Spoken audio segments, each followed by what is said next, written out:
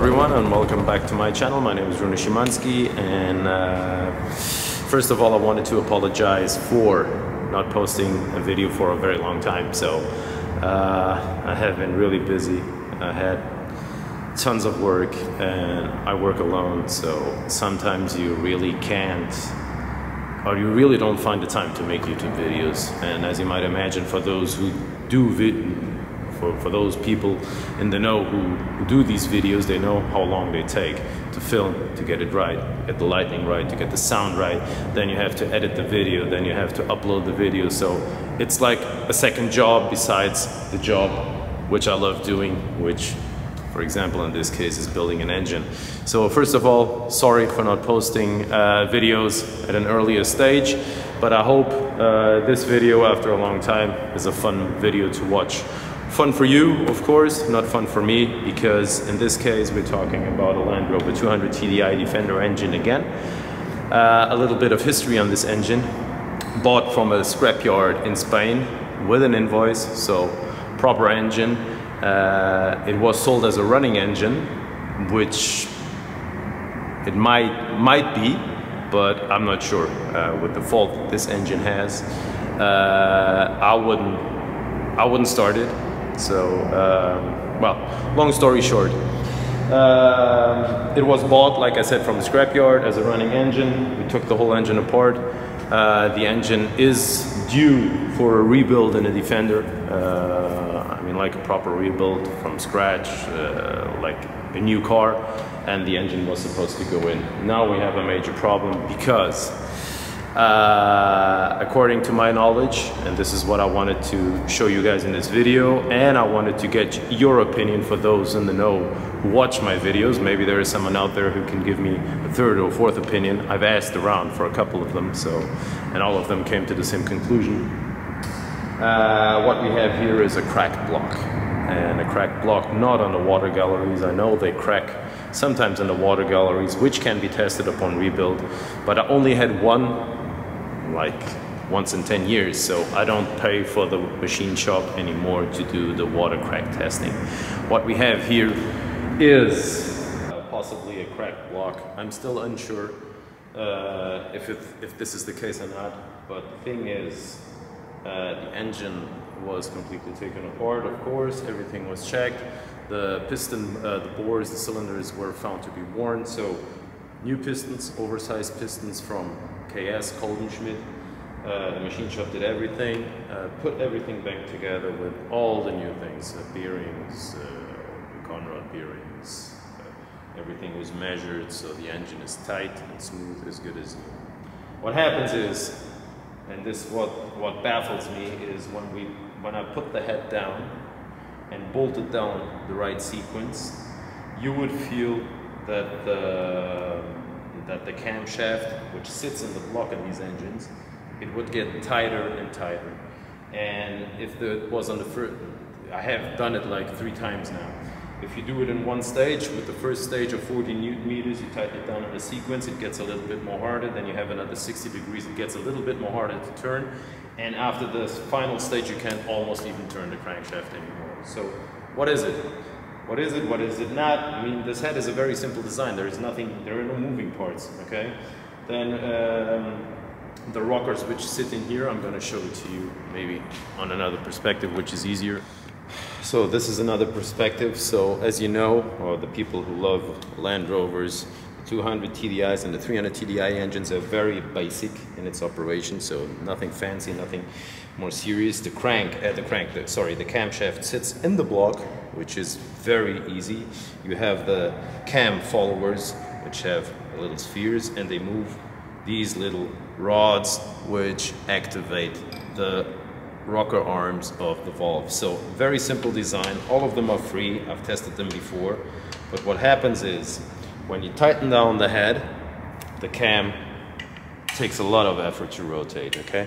I'm gonna show it to you. You can't really feel the pressure, but look at the resistance I'm making, okay? This is, and after it gets smoother, and after the first initial, the initial, um, overcoming the initial resistance, it actually turns quite okay. But what we have over here is the head is not tightened down, especially on these four bolts, okay? I was wondering what would happen. Uh, I removed the head completely. I checked for, I mean, everything was done on this engine, don't get me wrong. The, the, the, the block was skimmed, the, the head was skimmed, everything is uh, perfectly straight, so no warping or anything. But what happens is, if I, if I happen to undo these bolts, which are not really tightened down, okay, only these two I tightened them down before. And this is what I wanted to show you live. And this is the kind of stuff that doesn't happen. I never had a cracked block. I mean, uh, I'm open to opinions. If anybody can give me another opinion on what is happening here, um, I would love to know. So look at the cam now, okay? It turns very smoothly and very easily. So to my mind, uh, what you can see over here, uh, these four bolts, okay, they sit almost, or they sit exactly on top of the cam bearings. It has one bearing here, it has one bearing here, one bearing here, and the one in the front, which causes the most wear on the crank because of the timing belt, which does a lot of effort, and this bearing over here takes up the most damage when you exchange them. These ones are new, they were inline reamed. So, what we have here, according to my opinion, and this is just me talking, I don't know if this is the case or not, so let me, uh, for my, so you have a face in the video at least. Uh, what happens here is when you tighten these, when you tighten these bolts down, these ones are tightened down according to spec, okay? I just untightened these. I even put a little bit of a, uh, I even put a washer down here. But uh, I looked with the, with the borescope down if the bolt was too long and it might hit the block with parts these days, you never know. No, no such thing. I mean, it could do pressure on top of the, the, the cam bearing or it might be cracked down there. This is not the case, okay? I put the washers in here just in case and I tighten it down. According to my mind, if you tighten these two down, the cam will still rotate okay. As soon as you tighten these two down, it will pull up the block here, which according to my mind is cracked somewhere in here and these little galleries. These are the weakest parts of the whole block, so this is where uh, the thread goes in here. Of course, you can see it, it goes directly down on the cam bearing. And what happens is it has, has a slight crack, and when you tighten it down, it pulls up the it pulls up a little bit the, the, the, the, the block and is enough as the cam, as the, the, as the camshaft is perfectly straight, it's enough to cause uh, this, uh, this drag on the cam. You might say you can start the engine as is. I wouldn't do it. I mean, what happens is uh, sometimes when you do it, even when you don't, uh, the camshaft, the bearings, they're very hard to get in. Okay, they're press fitted in, and they have to. Uh, the machine shop has to inline ream uh, the whole camshaft so it doesn't have any tight spots. If you have tight spots on the cam, what happens is it will uh, rotate, it will spin the bearing in the block, okay? And then you damage the block, damage the bearing, you can get oversized bearings, but you don't even want to go there. I had this a couple of times on engine I took apart, I've saw, seen it, because people put these bearings in and they don't have the machine shop inline ream so the cam is rotating really freely. So this is what happens. Um, upon assembly upon disassembly I'm sorry. I did uh, I didn't notice anything. Everything was running smoothly or freely. What happened?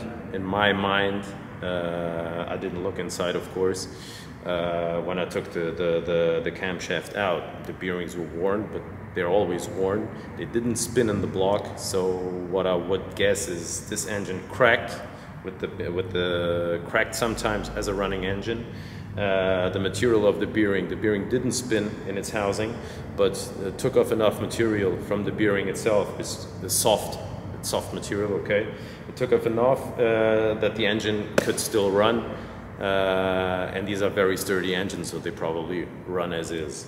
But as a rebuild, I'm not confident to, I'm not even confident, I'm not gonna continue this rebuild, which you can imagine is a shit show. Uh, the work involved, Uh, the man hours already in here, uh, the parts already in here. It's nuts. It's nuts. And getting to this stage of the build and seeing something like this, it, uh, it breaks your heart. I mean, as a mechanic or as someone who loves old cars, getting an engine back into this shape, I don't even know how many hours. I mean, it's, uh, and it's not fulfilling. It's not a fulfilling job. When you get to this stage, the ancillaries are missing, a couple of other things, and you get to this stage and you have to take the whole, the whole engine apart again and try to find a new engine block. So I will pop the head once again uh, just to double check measures and uh, double check the, the, the, the, face, the mating faces.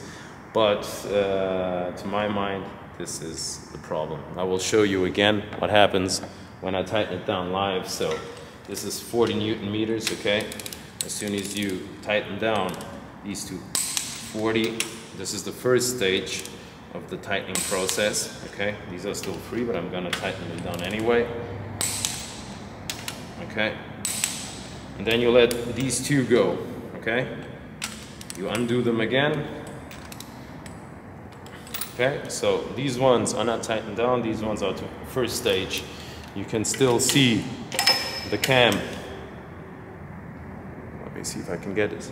The cam is still rotating pretty freely. As soon as you tighten these down to the first stage,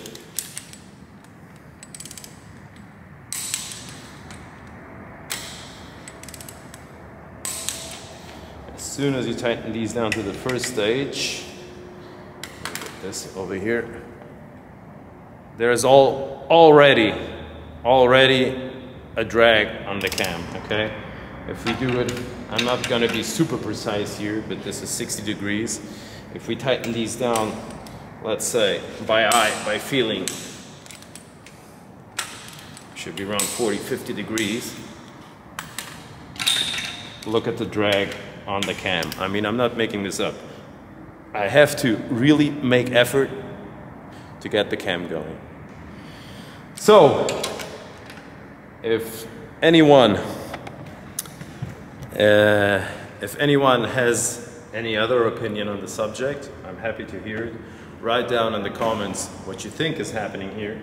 Uh, in my mind, this is a cracked block in these two galleries over here because if I tighten these down really good, uh, nothing happens, the camera will still run freely. If I tighten down these two, they will, it will not run or spin.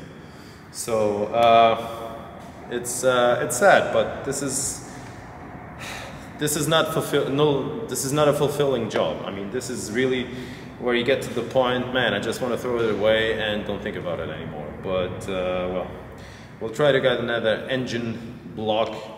Uh, probably not a Defender. This one is 11L, so from a Defender. We'll try to, to get a Discovery block, uh, hone it again to oversized pistons to fit these pistons in um, yeah, it's uh, and painting it and getting all the the gunk out of the engine from the rust and everything. I mean, it's so much work, so much, so much stuff that goes on, and so much love that goes into in building an engine like this that it really breaks my heart. But uh, I don't feel, I don't, I mean, this, I can't continue this rebuild. Uh, it doesn't make any sense. So uh, I hope you, I think for the ones in the know. Uh, but maybe somebody comes up with a different opinion. Um, there are not many uh, businesses in Portugal that do x-rays on a block. But even if you x-ray a block and you see the crack, what are you going to do? You can't weld it in here. It's impossible to weld. I mean, first of all, you have to find it. Uh, I had once a block that uh, had a hole in here. This on the outside, you can weld it. Uh, it's an artwork, it's expensive, but it's fixable. In this case, even with even if they show you here's the crack, what are you going to do? I mean, it's so this is a throwaway, unfortunately. Well, uh, first video after a long time. I hope uh, you find it interesting that uh, stuff does happen and shit does happen when you when you're dealing with engines that are 30 years old, 40 years old. They so many heat cycles. I mean, we don't know what caused the crack. Uh, but I would say uh, fatigue, fatigue of the material. Okay, so uh, the heat cycles take take their toll. Heating up, cooling down. Heating up, cooling down. Heating up, cooling down. All the things expand, contract, expand, contract. This is not rubber. Well, rubber goes bad as well, but uh, I think, in my honest opinion, they only take up so many heat cycles, and after too many of them, they develop cracks. In this case, crack block. So, hope you enjoyed this little first video. I'm not, I'm not gonna keep any too long. Uh, I'm gonna do the second video here of a TD5 engine, which I already have on the engine stands as well. This came from an uh, automatic uh, Discovery. I took the whole thing apart. The engine was running really smooth, but it had a head gasket failure. I wanted to check the bearings, uh, no wears on the sleeves and pistons. I mean, everything looks great. We're gonna put it back together. I'm gonna show you how it's done properly and, uh, well, explain the minor differences in the TD5 engines from the 10 to 15P and all that fun stuff for the tech geeks out there who love cars. Okay? Thank you for watching and I hope you enjoyed this little video and see you next time.